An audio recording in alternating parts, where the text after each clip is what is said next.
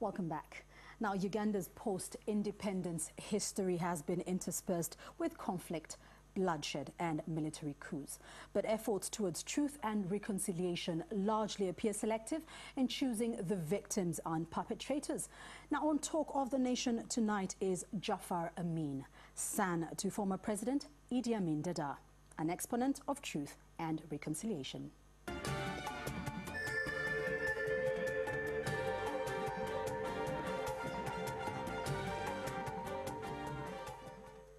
Jaffar, thank you for joining us. Thank you. I'm, I'm humbled to be here. I'll, I'll get right into the discussion. In an interview with the Observer newspaper, you said that Africans are vindictive and retributive. But the same African culture has some sort of, some form of reconciliation and reparation justice mechanism. What is the premise of your claim? You know, we, we, we're a patriarch society and we believe in uh, showing strength. Africans tend to believe the more you show strength, the more honored and respected you are. So throughout history, even going back to biblical times or Quranic times, and even if you go through the oral history of Africans, you find a, a very strong patriarch character, whether it's Moses, Muhammad, or strongmen like uh, Shaka Zulu, mm -hmm. there's always that impetus that you show strength by, by being firm. So that has actually collectively been the, the norm in Africans and uh, the revenge factor tends to be there very strongly whenever somebody feels that one tribe has attacked them. So the ethnicity problem uh, uh tended to dwell on all African, or even post, post-independence Africa. So uh, that vindication comes out in tribal wars and uh, sectarian uh, religious wars that we've seen that actually from the inception of Uganda. And it's, th it's that premise that gave me the, the fact that, look, at what point would somebody be courageous enough to say sorry? And for me, that's, that's the defining factor. Because and, and, we'll, we'll get to the issue of saying sorry a little mm. later on. Mm. You have on several occasions come out to dispute mm. accounts about your father, Idi Amin's chronicled atrocious, if I might say, mm. history. Mm. Is this a son's defense of his father, or do you actually have evidence contrary to what is written in history? Or can we even believe what history says about your father? You see, history tends to be written by the victor and that has always happened in history. But they're defining factors about my father based on issues of being a mass murderer, uh, issues of cannibalism, issues of insanity. I'd pick on those three. Let's start with the insanity issue. He was strong enough to say straight to the Israelites, what you're doing against the Palestinians is wrong and he spoke it in a, in a, in a, in a tragic term when he referred to the six million Jews that were incinerated. The reaction against that was that was an insane statement. Considering? Considering the, the facts that happened in the history of. Uh, the second one was the issue of cannibalism. It dwelled on a brother of mine called Moses. Now, Moses is alive. He was born in 1969. He lives a very quiet life. And he doesn't want to talk, but uh, he's still alive. But an incredible thing happened uh, just at the moment when they claimed he had been sacrificed. sacrificed. The information arrived that he had been sacrificed, and there was a funeral gathering in Busembatia, where his mother comes from, from the royal clan of the Baisemena. Okay. Dad collected the son and the sisters, and they drove all the way to Busembatia, and they found a funeral fire with the mournful gathering of his relatives from the maternal side. That must have shocked him. It shocked the parents, not the young boy, he was, he was a small boy. But the grandfather sees a spitting image of his great great grandfather, great grandfather, and they checked, they checked. You, you know how the children have injuries mm -hmm. that are uh, very well known by, let's say, the nanny. There was one called, uh, uh, uh, one, one, one lady who knew the child so well, she came and checked for those discerning scars and said, no, but this is Moses. From mournfulness, they turned to ululations of happiness.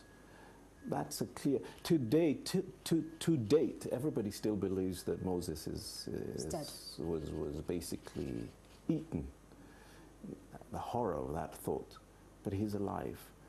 The issue of uh, mass murder, there was selective uh, information coming from uh, the, the, people he had ousted. ousted. Okay. Unfortunately, UPC uh, to date still considers that the country was betrothed to them. I'm just giving a, a political angle. Yeah.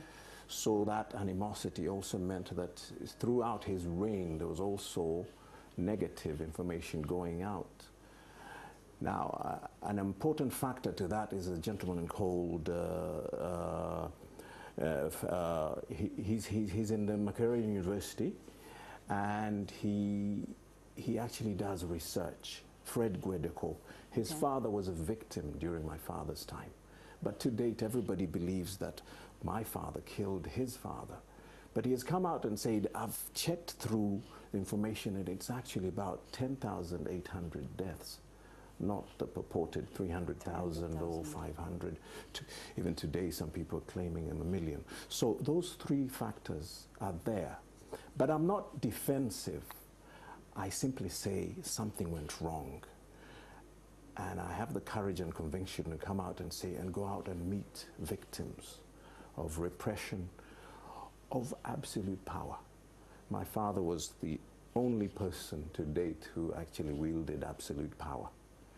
And that means a lot. It means you have a soft underbelly. They can blame you for everything. Anything and everything. And he was ruling. Uh, uh, it was a, it was a it was martial law the equivalent of what happened in Japan post uh, 1945. The same thing with Germany. Uganda, it seems the pains of, of, of democracy or, or a new nation you go through. But I'm not condoning what happened. I'm simply saying if you rule by military law, it means you open yourself up to, to a, lot of, uh, a lot of accusations. You recently asked for your family to be forgiven as the family Amin. Mm. Why now? Or is this something that you have sort of been trying to do and you didn't quite have the. I, I got actually the inspiration in two ways. My brother, Major General Taban, was a head of about 6,000 fighting group, the West Nile Bank Front, in Congo and Sudan. When his father died, he left 22 tons of weapons and came home. I was absolutely furious at an individual level. And I kept asking, we went to the night, we, we used to call Nile Hotel Nile Mansions. Yeah. And I simply said, why? He said, there's nothing to fight for. Dad is dead. I went back to the office. I was still angry. I was, I was, a, as an administrator in a, in a, in a courier company. But it, I started reflecting on that point. The second point was when his grandfather, actually Taban Amin is the, is the grandson of Obote. That's yeah. the most ironic thing about this. Helen Echi was a, a, niece to Obote. So I went all the way to Akokoro to bury the father of the nation. When I got there, they read my name because I'd signed the visitor's book, yeah. the condolence book. And they said, in the interest of reconciliation, we wish to well, uh, recognize the presence of the son of Idi Amin. There was an incredible ululation. When, when ululation is negative or, or uh, let's say dangerous, it comes in a, in a very chilling manner. Yeah. But uh, the ululation of welcome is incredible. There were probably 100,000 mourners that day. That set me off thinking about it. And uh, and then we did an amazing thing with the BBC for two, two weeks. It was a radio documentary. I went all the way from Koboko to Butiama, and we, we did an incredible reconciliation with the family of Nyerere. So that set me off. And I've been constantly doing this. Right now, I go around uh, regionally with okay. the Jubilee Network. In fact, it was actually sanctioned when Museveni stood at Namboole and say sorry for the past misdeeds of former leaders. You know, every position in society, well, from a, from a local chief to the head of state, you wield amazing power and influence in your status. And we go around saying sorry. In some areas, I, um, I stand in front of 30,000 people. Then you get about 40 families coming with all the tears. It's an, it's that an must amazing. be very emotional. It's, it's incredible. Sometimes people ask me, why do you do it? In Islam, there's a saying called waladun saleh, ayadullah. A son, a good son, stands and upholds the name of the family or the parents. And if you go to the Christian side, they say honor your parents. It's, it's one of the commandments, commandments Yes, I believe. So that's basically what I'm doing. But I believe through the uh, religious, interreligious council, we can heal a lot of the wounds of this country because believe you me, religious people are the most respected and trusted people in this I country. totally, I totally agree. A lot of negative stories are told about your father. Hmm. What are some of the positive things that you can tell us about your father's regime? I can only pin one thing. It has a, it has a negative connotation to it. It's called economic independence.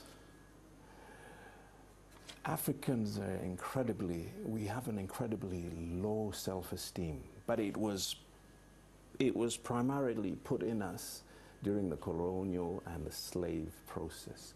You dehumanize an individual, you, you, you, you break the will of an individual. That's what colonialism did to us. And it seems the only thing my father's purpose in life was, was to come and unshackle those chains and, and, uh, and, and, and remove the yoke. Can you, you see those oxes Yeah. doing the plowing? Can you imagine a human being? That, that's, the, that's how the whole of Africa has lived.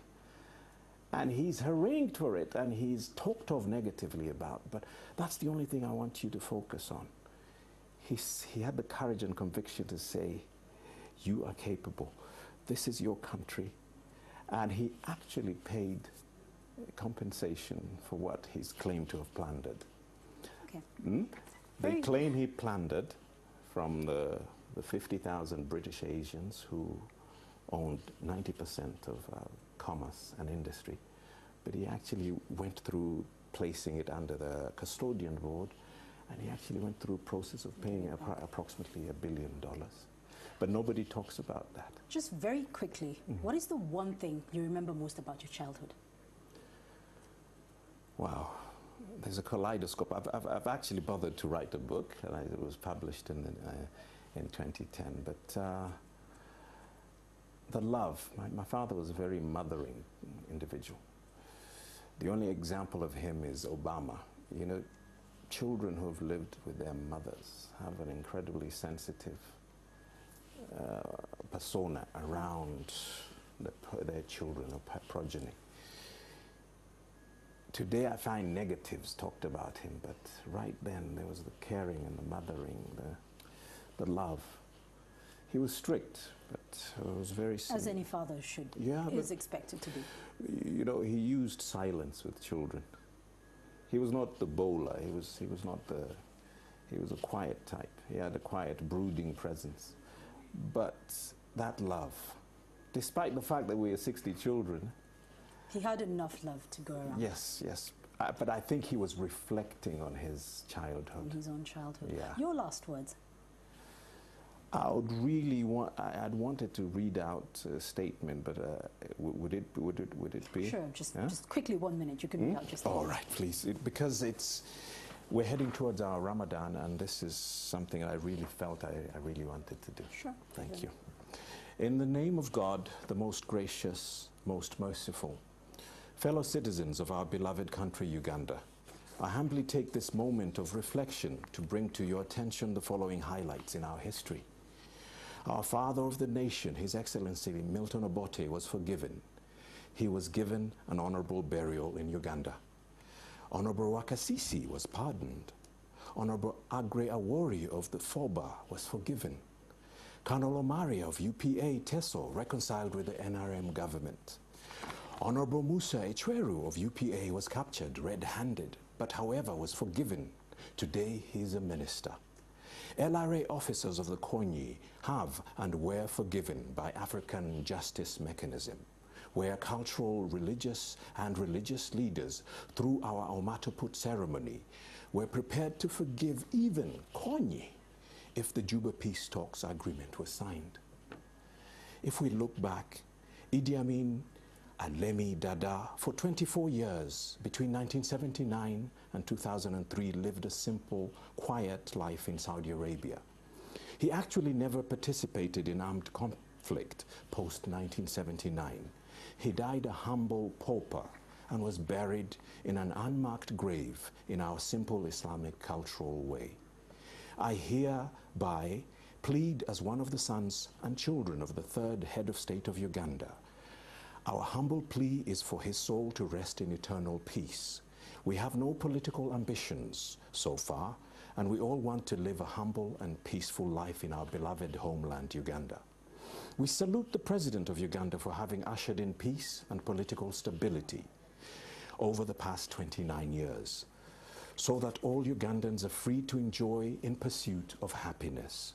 In keeping with this spirit of peace and reconciliation for a new and better Uganda, I, Jaffar Remo Amin Dada, appeal for forgiveness from all citizens of Uganda for the soul and spirit of my late father, Alhaji Idi Amin Alemi Dada, and seek goodwill from every Ugandan and in the same spirit of reconciliation to God.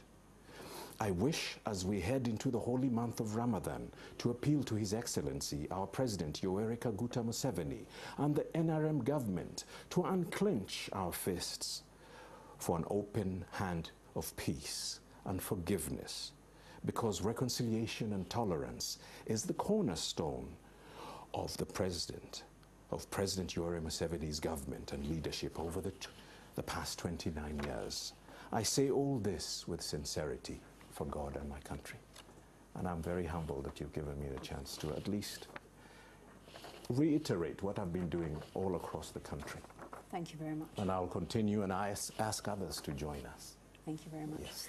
Jaffar Amin, talking truth, peace, and reconciliation. We will take a short break and return with the latest in NTV Week in Sport. Thank you. Thank you for joining us.